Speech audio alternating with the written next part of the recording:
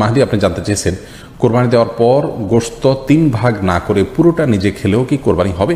কোরবানি গোস্ত কি তিন ভাগ করে এক ভাগ গরিবদের দেওয়া জরুরি, নাকি পুরোটা নিজেরাই, নিজেরাও খাওয়া যাবে? জামিল মাহাদি, কোরবানির গোস্তের তিন ভাগ করা এটা আবশ্যক নয়, মুস্তাহাব। আল্লাহ রব্বুল আলম কোরআন কারিমে যেহেতু তিনটা শ্রেণির কথা বলেছেন, ফাকুল মিনহা ও আতামুল কানিয়া ওয়াল মুতাররা। তাল্লাহ বলেছেন, ফাকুল মিনহা ও আতামুল বায়েস আল ফাকির তো এই নির্দেশনাগুলো থেকে বোঝা যায় যে আল্লাহ রব্বুল আলমিন তিনটা শ্রেণীতে আমাদেরকে আপনার কোরবানি গোস্তকে বন্টন করার জন্য নির্দেশনা দিয়েছেন।